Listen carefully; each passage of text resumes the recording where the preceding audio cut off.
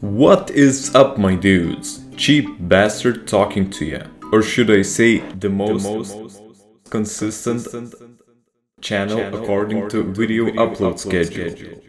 Anyways, I got a quite an interesting video for you today. A few days ago, I built a PC with Intel Core i7-3770S and it magically overclocked itself to 4.35 GHz all-core overclock. It would be somewhat explainable on overclockable Z68 or Z77 motherboard, but it happened on Gigabyte H61 motherboard, which doesn't support any kind of overclock at all. So, I thought it was a great idea to run a few benchmarks on it and share them with you. My test system contains 16GB of DDR3 RAM, RX 580 4GB and of course i7-3770 itself. My game tests began with Overwatch. On 4K ultra settings I got an average of 87.6, a minimum of 53.2 and the maximum of 121.3 FPS. The results were so good that I didn't even need to drop the resolution to 1080p. I mean, the next game on the line is Plants vs Zombies Battle for Neighborville. On 1080p ultra settings I got an average of 100.2, a minimum of 81.8 and a maximum of 126.5 fps. I am sad that I don't have a regular i7-3770S to compare it to it, but this CPU seems to do really well in gaming.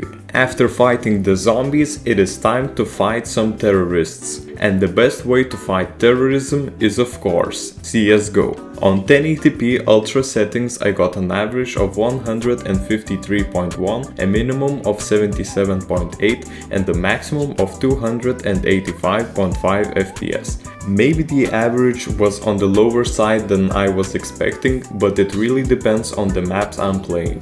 It wouldn't be a complete video if it wouldn't feature a GTA 5. So here it is. On 1080p maximum settings possible, I got an average of 85.8, a minimum of 71.9 and a maximum of 109.3 FPS. Despite those good FPS scores, take a look at the temperature of this CPU. It is running on a stock Intel cooler, but it doesn't even get up to 70 degrees which is pretty amazing, if you ask me.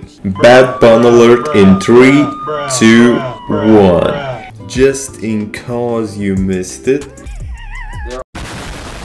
Here's the benchmarks of this game. On ultra settings 1080p I got an average of 90.2, a minimum of 56.8 and the maximum of 137.5 FPS. This time I saw a pretty obvious GPU bottleneck. Anyways, still a very good FPS score. And for the final game of today, I've got you some Rise of the Tomb Raider for you. On 4K medium settings I got an average of 82.9, a minimum of 63.7 and the maximum of 108.3 FPS. On 1080p Ultra, FPS scores are pretty similar, but the game looks better on 4K, so I kept the resolution up.